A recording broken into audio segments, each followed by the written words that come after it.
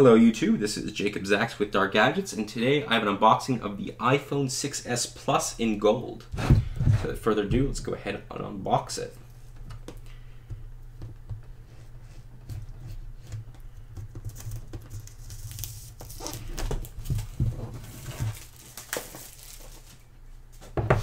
So, I'm going to go ahead and pull it up.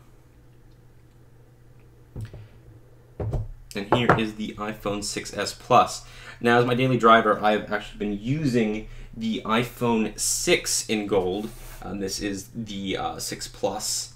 Um, and between the two, this one actually does feel, sorry, this one, this is the 6 Plus, feels a little bit heavier compared to the older one. Another thing is that the color, even though you can barely see it, is a little bit different, and also the metal sheen is a little bit different too. Uh, this is a little bit more granular.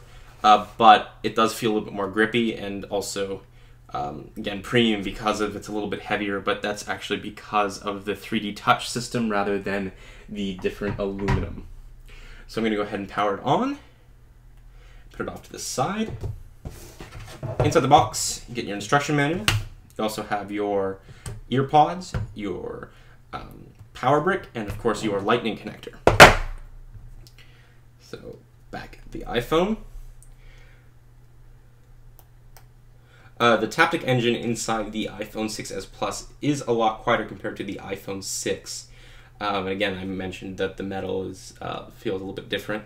But besides that, on the outside, this is almost exactly the same phone. However, on the inside, a lot has changed.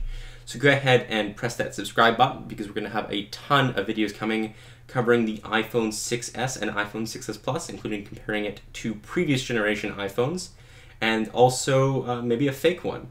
So stay tuned for that. This has been DarGadgetZ. Bye.